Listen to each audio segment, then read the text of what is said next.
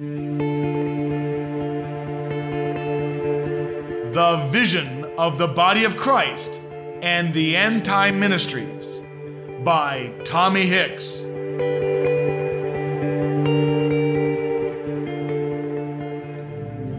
Um, there's a vision that I want to share with you tonight, and it's a very impactful vision. And as you allow your heart to just absorb this vision, I think you will see what I began to see today um, about Joel's army.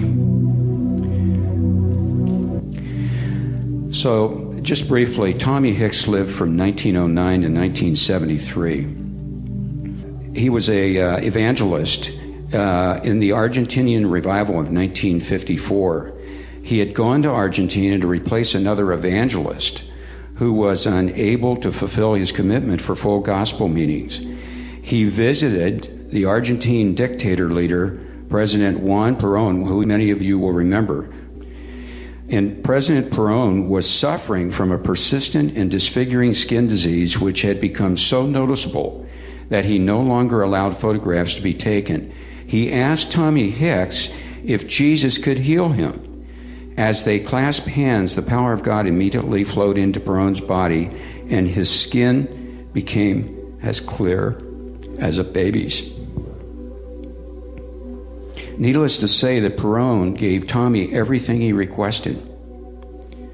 The Atlantic Stadium, with a seating capacity of 25,000, was rented Soon, overwhelming crowds forced them to relocate to the Hur- Huracane, H U R A C A N E, football stadium with a seating capacity of 110,000, which also overflowed.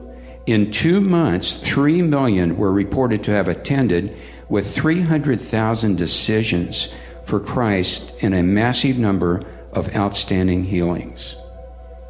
Tommy Hicks claimed among his current converts the vice president of Argentina, who, along with his wife, came to Brother Hicks's hotel room where they were both saved. He reported that he healed the son of the vice president of Bolivia and met with the richest woman in Argentina. He went on to preach behind the Iron Curtain in Russia and satellite countries. And this overseas, this impact overseas, won him support from the Full Gospel Businessmen's Fellowship and opened the door to many places for ministry. The following vision originally appeared in a book entitled Pertinent Prophecies by John N. and Dorothea M. Gardner and was given by Tommy Hicks, a noted evangelist, in 1961. This is called The Body of Christ and the End Time Ministries. So this is the, the, the, vision. My message begins July 25th, about 2.30 in the morning at Winnipeg, Canada. I had hardly fallen asleep when the vision and the revelation that God gave me came before. The vision came three times, exactly in detail, the morning of July 25th, 1961. I was so stirred and so moved by the revelation that this has changed my complete outlook upon the body of Christ and upon the end time ministries. The greatest thing that the Church of Jesus Christ has ever been given lies straight ahead. It is so hard to, hard to help men and women to realize and understand the thing that God is trying to give his people in the end times. I received a letter several weeks ago from one of our native evangelists down in Africa, down in Nairobi. This man and his wife were on their way to Tanganyika. They could neither read nor could they write, but we have been supporting them for over two years. As they entered into the territory of Tanganyika, they came across a small village. The entire village was evacuating because of a plague that had hit the village. He came across natives that were weeping, and he asked them what was wrong. They told of their mother and father who had suddenly died, and they had been dead for three days. They had to leave. They were afraid to go in. They were leaving them in the cottage. He turned and asked them where they were. They pointed to the hut, and he asked them to go with him, but they refused. They were afraid to go. The native and his wife went to this little cottage and entered in where the man and woman had been dead for three days. He simply stretched forth his hand in the name of the Lord Jesus Christ and spoke the man's name and the woman's name and said, In the name of the Lord Jesus Christ, I command life to come back to your bodies. Instantaneously, these two heathen people who had never known Jesus Christ as their Savior sat up and immediately began to praise God. The Spirit and the power of God came into the life of those people. To us, that may seem strange and a phenomenon, but that is the beginning of these end time ministries. God is going to take the do nothings, the nobodies, the unheard of, the no accounts. He is going to take every man and every woman, and He is going to give to them this outpouring of the Spirit of God. In the book of Acts, we read that in the last days, God said, I will pour out my Spirit upon all flesh. I wonder if we realized what he meant when God said, I will pour out my Spirit upon all flesh. I do not think I fully realized, nor could I understand the fullness of it and then I read from the book of Joel Be glad then, ye children of Zion, and rejoice in the Lord your God. For he hath given you the former rain moderately, and he will cause to come down for you the rain, the former rain and the latter rain. Joel 2:23. It is not only going to be the rain, the former rain and the latter rain, but he is going to give to his people in these last days a double portion of the power of God. Now, this is 1961. As the vision appeared to me after I was asleep, I suddenly found myself in a great high distance, but I was looking down upon the earth. Suddenly, the whole earth came into my view. Every nation, every kindred, every tongue came before my sight from the east and the west, the north and the south. I recognized every country and many cities that I had been in, and I was almost in fear and trembling as I beheld the great sight before me. And at that moment, when the world came into view, it began to lightning and thunder. As the lightning flashed over the face of the earth, my eyes went downward, and I was facing the north. Suddenly, I beheld what looked like a great giant, and I stared and looked at it. I was almost bewildered by the sight. It was so gigantic and so great. His feet seemed to reach to the North Pole and his head to the South. Its arms were stretched from sea to sea. I could not even begin to understand whether this be a mountain or this be a giant, but as I watched, I suddenly beheld a great giant. I could see his head was struggling for life. He wanted to live, but his body was covered with debris from head to foot. And a time, at a time, this great giant would move his body and act as though it would even raise up at times. And when it did, thousands of little creatures seemed to run away. Hideous creatures would run away from this giant, and when he would become calm, they would come back. All of a sudden, this great giant lifted his hand toward the heaven and then it lifted its other hand. And when it did, these creatures by the thousands seemed to flee away from this giant and go into the darkness of the night. Slowly, this great giant began to rise, and as he did, his hands, his head and hands went into the clouds. As he rose to his feet, he seemed to have cleansed himself from the debris and filth that was upon him. And he began to raise his hands into the heavens as though praising the Lord. And as he raised his hands, they went even unto the clouds. Suddenly, every cloud became silver, the most beautiful silver I have ever known. As I watched the phenomenon, it was so great, I could not even begin to understand what it all meant. I was so stirred as I watched it, and I cried unto the Lord, and I said, Oh Lord, what is the meaning of this? and I felt as if I was actually in the Spirit, and I could feel the presence of the Lord even as I was asleep. And from those clouds, suddenly there came great drops of liquid light raining down upon mighty this giant. And slowly, slowly, this giant began to melt, began to sink itself in the very earth itself. And as he melted, his whole form seemed to have melted upon the face of the earth, and the great rain began to come down. Liquid drops of light began to flood the very earth itself. And as I watched this giant that seemed to melt, suddenly it became millions of people over the face of the earth. As I beheld the sight before me, people stood up all over the world. They were lifting their hands and they were praising the Lord. At that very moment, there came a great thunder that seemed to roar from the heavens. I turned my eyes toward the heavens, and suddenly I saw a figure in white, in glistening white, the most glorious thing that I have ever seen in my entire life. I did not see the face, but somehow I knew it was the Lord Jesus Christ. And he stretched forth his hand, and as he did, he would stretch it forth to one and to another and to another.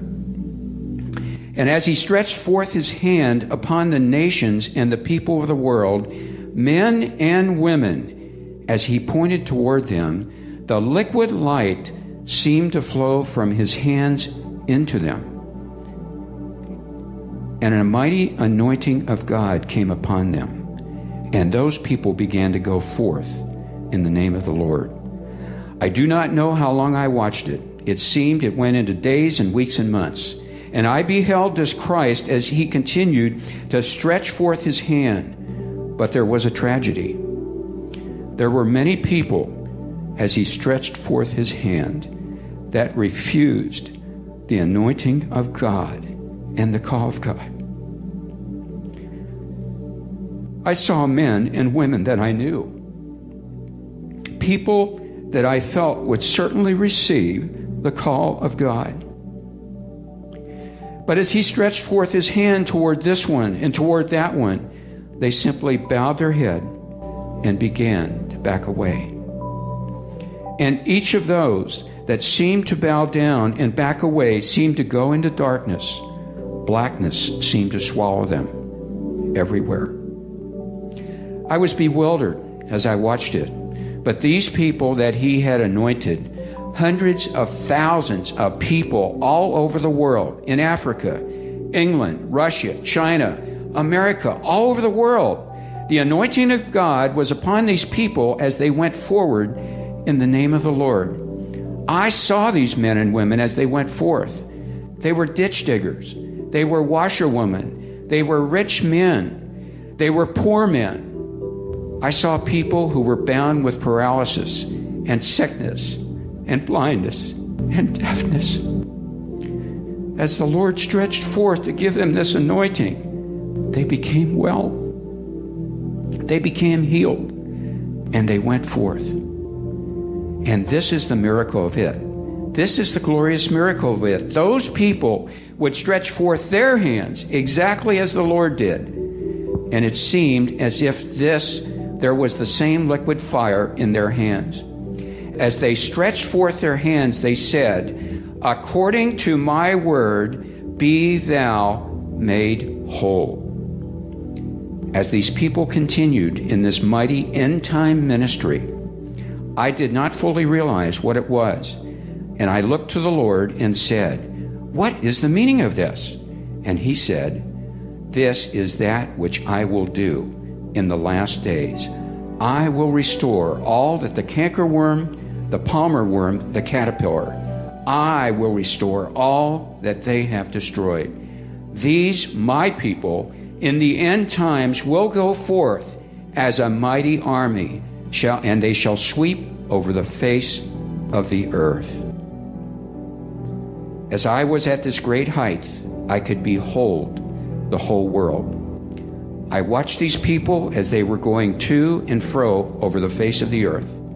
Suddenly, there was an African man, and in a moment he was transported by the Spirit of God, and perhaps he was in Russia or China or America or some other place, and vice versa. All over the world, these people went, and they came through fire and through pestilence and through famine.